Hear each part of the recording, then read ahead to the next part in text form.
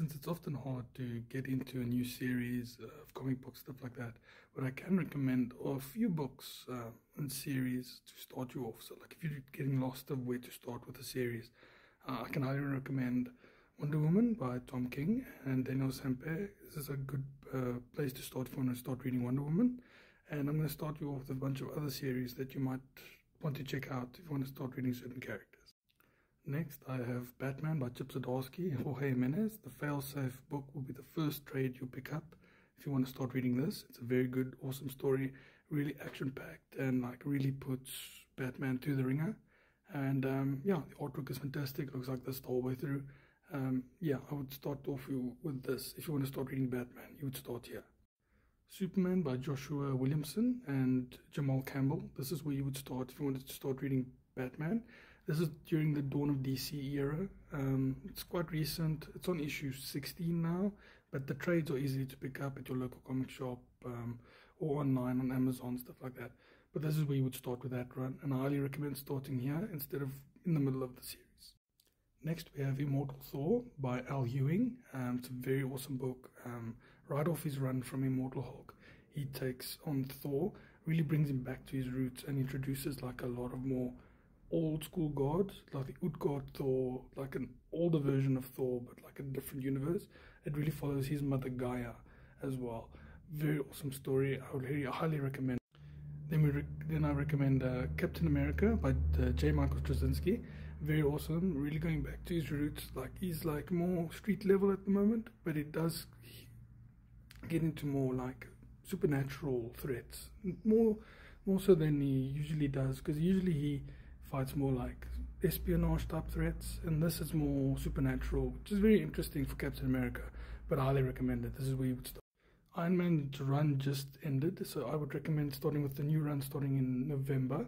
Um, it's very cool. It's going back to his roots. Like he's just gotten his, some of his money back from his company from the previous run, um, and he's going to fight a war against Roxxon and AIM. It's very interesting. The suit is also very like steampunk, steampunking uh, inspired. It's very then I would recommend The Ultimate Spider-Man by Jonathan Hickman and Marco Checchetto.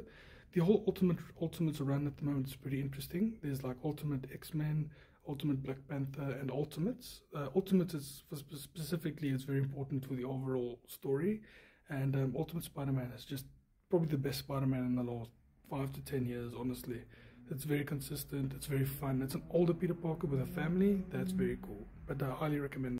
Then for X-Men, I would uh, recommend Jed MacKay, who's also writing Avengers at the moment. So you can read them interchangeably. Uh, but he's writing the new X-Men book, and it's going to cross over soon as well. So I would highly recommend picking up both books if you want to read that. Um, it's really going back to basics for them because the Krakoa, the the big event that they were just part of, that just blew up, and they are like very street level now, only relying on themselves at the moment. So I would highly recommend this and the Uncanny X-Men by Gail Simone and Dave Marquez. These this, these two books are very good to read. This is a more classic team, especially if you watch the X-Men 97 TV show. This will be very familiar to you, the, the team makeup. Very cool. Then the big event for Venom at the moment, Venom War, it's five issues. I would highly recommend getting this if you really want to get into Venom. It's got Dylan Brock and Eddie Brock and every other person who's ever held a symbiote uh, involved. Spider-Man as well, and also this future version of of Eddie at the far right corner there. Uh, he's like a time traveler one. He's the big bad of the story. So I would highly recommend this as well. The first issue is out now, and um, yeah, just check out your local stores. And out in December or early January, you'll get the all new Venom, which ends. This happens at the end of Venom War, and this is what you would um, be reading. This is a new person holding this the symbiote suit, by the way. So we don't know much about this yet, but this is the new story. It's going to be Al Ewing again from Venom War he'll be writing this series as well. And then right off the the this, the last event that just happened for Blood Hunt uh, for Marvel Comics, Doctor Doom became the Sorcerer Supreme, and now Spider Man. This is where you would read Spider Man. This is where you, the big place you would jump onto if you want to read Spider Man, because he and uh, Doctor Doom are gonna have like a big uh, get together, and he's gonna get a new suit. Very awesome, the magical suit. It's written by Joe Kelly with Ed McGuinness art. I'm really excited for this. But these are some picks that you guys can look up, and um, yeah, they should be available through your local shops or Amazon. Check them out.